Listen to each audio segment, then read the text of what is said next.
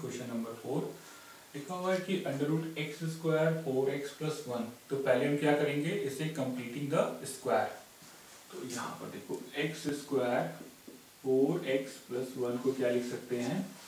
X square की जगह पर एक्स प्लस साइन एक्स के कोफिशियंट का half two bracket square minus two का स्क्वायर फोर प्लस वन इसको मैंने थोड़ा जल्दी कर दिया, क्योंकि अभी हम इतने सारे क्वेश्चंस देख चुके हैं।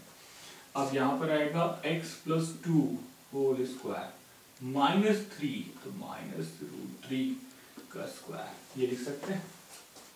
अब ये स्टैंडर्ड फॉर्म में क्या हो गया question x plus two whole square minus root three का स्क्वायर अब फॉर्मूला अप्लाई करो।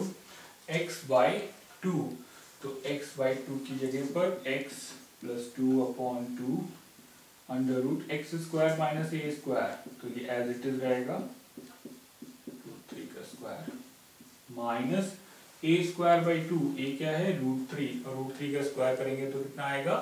थ्री थ्री बाई टू और क्या लिखा जाएगा? लॉग एक्स एक्स की जगह पर एक्स प्लस टू है plus under root x square plus x square minus a square तो कितना आएगा? X plus two whole square minus root three का स्क्वायर प्लस सी अब ऐसा कोई टर्म नहीं है जो सिंप्लीफाई हो जाए तो फाइनल आंसर इसका